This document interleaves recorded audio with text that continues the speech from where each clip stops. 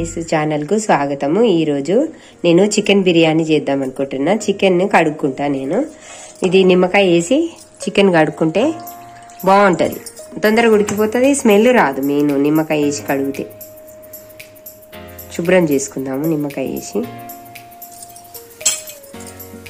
కొంచెమే చేస్తున్నా కుండలో చేస్తున్నా కాబట్టి కొంచెమే చేస్తున్నా.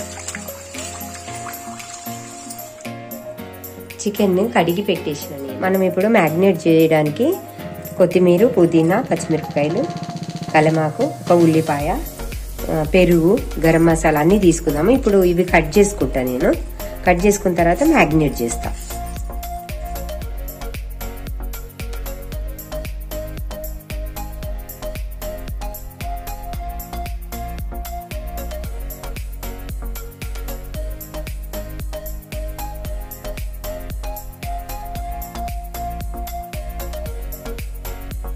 పెరిగి వేసుకున్నా ఇందులో కొత్తిమీర పుదీనా వేసుకుందాము పచ్చిమిరపకాయలు వేసుకుందాము ఉల్లిపాయ వేసేసుకుందాం. ఉల్లిపాయ చాలామంది ఎవరు వేసుకోరు.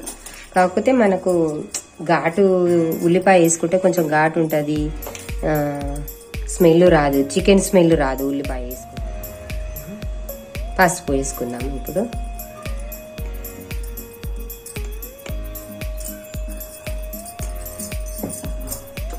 అల్లం వెల్లుల్లి పేస్ట్ వేసుకున్నాం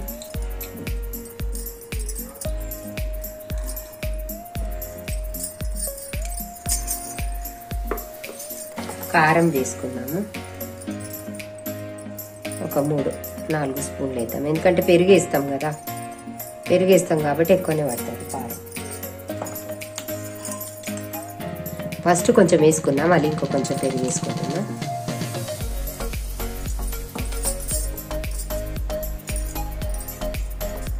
జీలకర్ర పొడి వేసుకుంటున్నా.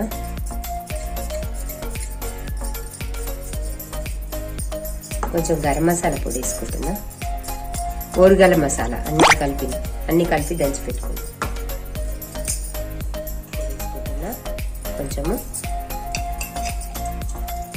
అన్నీ కలిపేసుకుందాం ఇప్పుడు.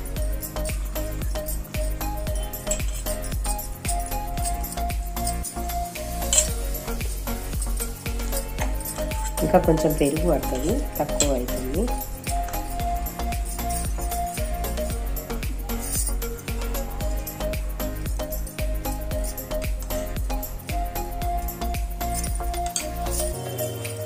పెరుగు ఎంత ఎక్కువ ఉంటే అంత మంచిగా ఇట్లా వాటర్ ఉండ వేయొద్దు కదా ఇందులో.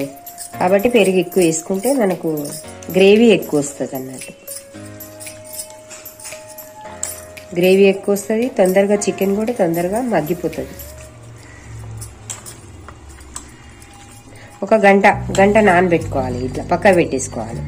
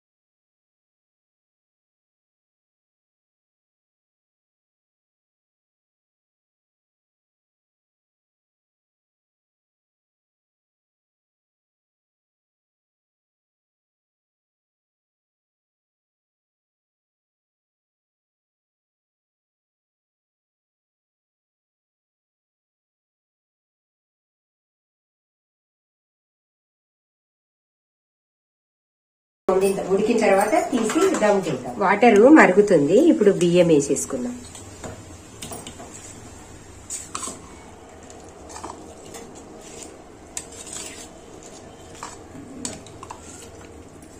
నేను సాల్ట్ నూనె అన్నీ వేసేసిన. ఇది హాఫ్ బాయిల్ కావాలి. ఎక్కువ ఉడకొద్దు. ఆల్రెడీ అది చికెన్లో వాటర్ కొంచెం ఉంది కదా. అది వీట్ చేసుకుంటుంది. కాబట్టి ఇది ఉడుకుతుంది. ఒక పది నిమిషాలలో ఉడుకుతుంది. పది నిమిషాలు కూడా పడుతుంది ఐదు నిమిషాలలో ఇగో ఇప్పుడు చికెన్ ఉడికింది. ఉడి అంటే దమ్క వరకు అయ్యింది. మనం ఇప్పుడు అన్నం వేసుకుందాం. చికెన్ కింద అంటకుండా మంచిగా పేర్చుకోండి ఇట్లా. ఇట్లా ఒక లేయర్ వేసేసుకుందాము. నేను నిమ్మకాయ జ్యూసు చికెన్లో వేయలే. ఎందుకంటే అప్పట్లో నిమ్మకాయ వేస్తే చేదు అవుతుంది అని అనేవాళ్ళు. మేము అదే ఫాలో అవుతాం. మేము ఇచ్చి నాన్ వెజ్లా చికెన్ ఏది వండినా కానీ నిమ్మకాయ వేయం. ఇప్పుడు అన్నం లేస్తా నేను.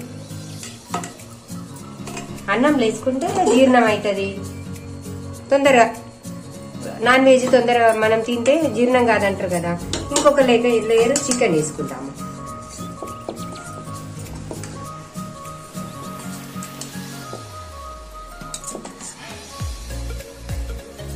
చికెన్ ఉడికినాక చికెన్ ఉన్న క్వాంటిటీలో సగం తీసుకొని మళ్ళీ బయట పెట్టుకుండే అనమాట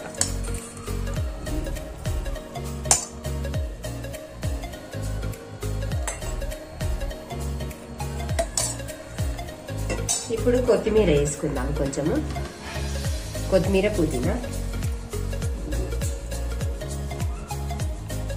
కొంచెము నిమ్మరసం వేసేసుకుందాం దీంట్లో. ఇంకా ఫ్రైడ్ ఆనియన్స్. కొంచెం నెయ్యి వేసేసుకున్నాం ఆల్రెడీ చికెన్లో ఎక్కువ ఆయిల్ వేసిన. ఆయిల్ ఎక్కువ ఉంటేనే నాన్ వెజ్ టేస్ట్ ఉంటుంది. ఆయిల్ ఎంత ఎక్కువ ఉంటే అంత టేస్ట్ అవుతుంది కర్రీ.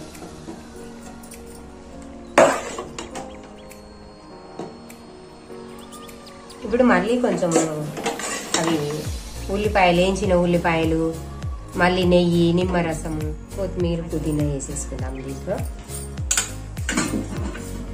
వేయించిన ఉల్లిపాయలు వేసేసుకుందాం.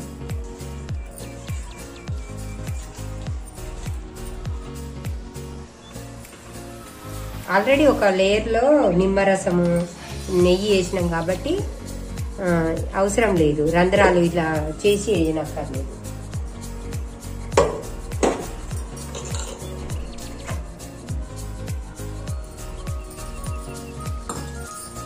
మళ్ళీ ఇప్పుడు నెయ్యి వేసేస్తాం.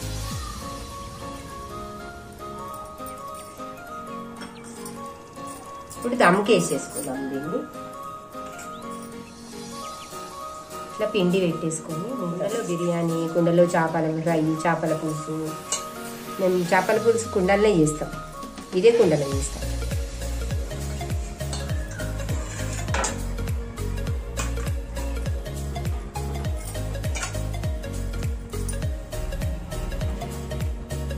ఇట్లా పెట్టుకుంటే గాలి అనేది ఆవిరి బయటికి పోదు అన్నానికి పట్టుకుంటుంది. కొంచెం ఓపెన్ పెట్టింది ఇక్కడ గాలి పోవడానికి.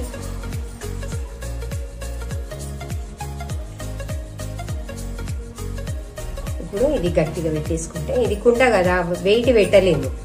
కాబట్టి పిండి పెట్టిన నేను ఆవిరి పోకుండా. ఇప్పుడు సిమ్లో పెట్టినా అదే అవుతుంది ఇక. ఒక ఫైవ్ మినిట్స్ ఫైవ్ మినిట్స్ అయిన తర్వాత తీసుకుందాము. ఇప్పటి వరకు మేము చేసిన వీడియోస్ చూడకపోతే ఇప్పుడే చూడండి. లింక్స్ అన్ని డిస్క్రిప్షన్లో ఉన్నాయి. ఫస్ట్ టైం ఈ వీడియో చూస్తున్నట్టయితే సబ్స్క్రైబ్ చేసుకోండి. Please subscribe press the bell icon to notify and every update from our channel AS cooking stuff ఇప్పుడు బిర్యానీ రెడీ అయింది చూద్దాం వావ్ మంచిగా అయింది.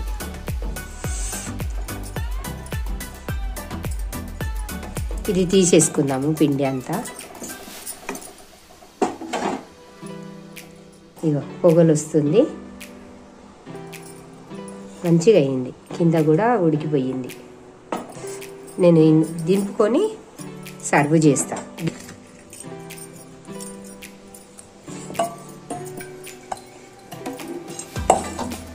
బాగా అయింది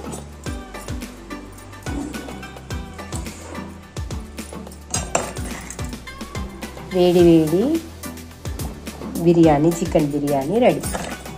అది కుండలో చేసిన. కుండలో చేస్తే టేస్ట్ బాగా అవుతుంది పాతకాలంలో అన్ని కుండలలో వండుకునే వాళ్ళము ఇప్పుడు అన్ని గిన్నెలు.